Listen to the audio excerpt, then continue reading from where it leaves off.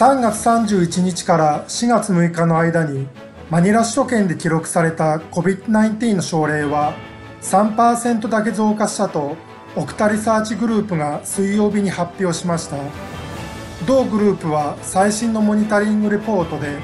マニラ首都圏では3月31日から4月6日の間に平均5146件の COVID-19 の症例が新たに報告され1週間の成長率はわずか3%になったと述べました。これは前回記録した3月25日から4月1日までの1週間の増加率19%を下回っています。同様に3月31日から4月6日までのマニラ首都圏における COVID-19 の実効再生産数は1.43と記録され4月6日に報告された以前の数値1.53から減少したとグループは述べています。全国での COVID-19 の実効再生産数は1.45です。オクタリサーチグループはマニラ首都圏の1週間の成長率が低かったほかパサイ、マリキナ、マカティ、マニラ、タギ、ナボタス、マンダルーヨンの各市で1週間の成長率がマイナスとなりパラニャ家ラスピニャスの各市でも1桁以下の成長率となったことを指摘しています。オクタはフィリピンにおける COVID-19 の感染者数が急増していることから4月末までに100万人以上になる可能性があると予測しています。マニラ首都圏とその近隣4州における2週間の強化されたコミュニティ隔離措置 ECQ により世帯収入の損失が約300億ペソに達し数十万人の雇用が失われると国家経済開発庁 NEDA が火曜日に発表しました。NEDA は声明の中で NCR プラスメトロマニラカビテラグーナリサールブラカンにおける ECQ の延長は大多数の人々にマイナスの影響を与えると述べています。経済計画機関の試算では2週間の厳しいロックダウンにより約25万2000人の無職者と10万2000人の貧困者が増加します。NCR プラスでのより厳しい検疫により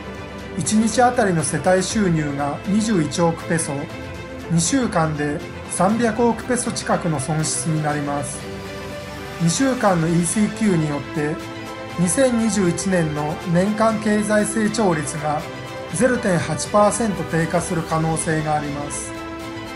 フィリピン経営者連盟かっこ ECOP は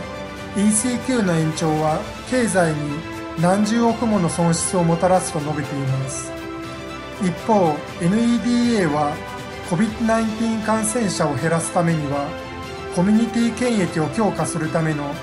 PDITR 予防検出隔離治療回復戦略の実施をさらに強化する必要があると述べています。フィリピン証券取引所 PSE は上場規則を改正しパンデミックにより申請者を検討する際の一時的な救済条項を追加したことで、新規公開株、IPO による資金調達を行う企業が増えることを期待しています。PSE のモンゾン社長兼 CEO は、フィリピンでは上場企業数が少ないため、市場が立ち遅れていると指摘しています。この問題に対処するため、メインボードと中小企業ボードの上場要件を緩和し、パンデミックによって直面している課題にもかかわらず、企業の上場に対する適合性を評価する手段を導入しましたと、モンゾン氏は述べています。さらにモンゾン氏は、市場の上場規則を改正するための勧告を認めてくれた証券取引委員会に感謝の意を表しました。今月、PSE はこの改正について議論するために The Road to IPO と呼ばれる2部構成のディスカッションを開催します。4月7日の説明会では PSE の幹部と上場チームが中心となり、投資会社の役員、中小新興市場の上場申請者のスポンサー、その他の IPO 取引チームの主要メンバーとともに、改正された上場規則について議論します。第2部は4月27日に開催され、上場企業の関係者が IPO の成功事例を語り、上場申請者の参考にします。フィルウェブコープ、カッコ、ウェブの2020年第4四半期の純利益は、パンデミックの中で実施されたロックダウン規制や健康プロトコルにより、ゲーミング収入が減少したにもかかわらず、700万ペソに達しました。フィルウェブの社長は、月曜日に発表した声明の中で、ゲームの1日あたりの収益が検疫前の平均値の60%であるにもかかわらず、フィルウェブは2020年10月から EBITDA を黒字化し、2020年11月から純利益を上げていると述べています。当四半期の売上高は1億500万ペソ、EBITDA、金利、税金、減価償却費、控除前利益は3000万ペソでした。2020年はフィルウェブ及びその子会社は親会社株主に帰属する当期純利益の純損失を30%減の5951万ペソに縮小しました。総売上高は5億3986万ペソから50.9%減の2億6488万ペソとなりました。今日現在、フィルウェブのエレクトロニックゲーミングシステムを利用している e ゲームスの店舗は85店舗、フィルウェブの e ビンゴマシンを利用している